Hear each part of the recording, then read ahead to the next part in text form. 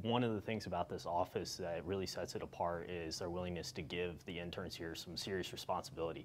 I've had friends in the past who are extremely well qualified. They went to companies and when they were working as an intern there, they basically ended up like getting coffee and entering like numbers on Excel spreadsheets and just not doing things that were technically challenging. Here, all the interns have really interesting projects that really, uh, really push them and are actually technically challenging and will actually be used in the field. And I think that's just awesome that SIGov is willing to give interns the chance to show what they're made of.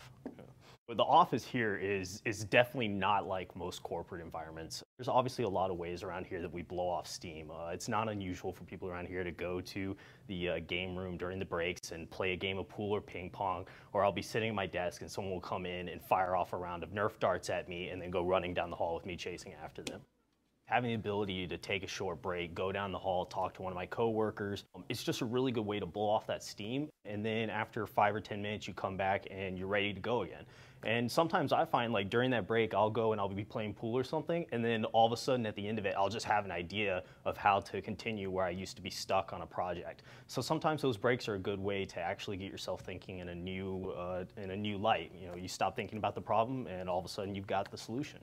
Coming in here and talking to the employees here and the other interns, I was just blown away by the level of technical talent here and their willingness to talk to me and to answer my questions. I've been bugging my office mates since day one. I'll run into a problem and I'll be like, have you ever dealt with this before? Do you know how to fix this? And he's better than Google, man. In a lot of offices, it's can it be done?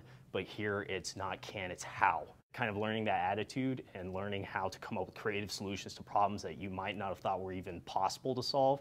It's just a, a great, great mental mindset.